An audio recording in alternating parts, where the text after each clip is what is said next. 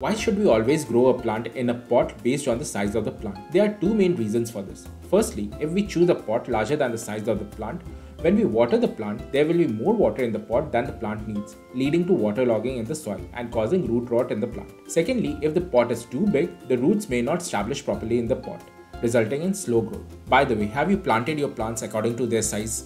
Please let me know in the comments.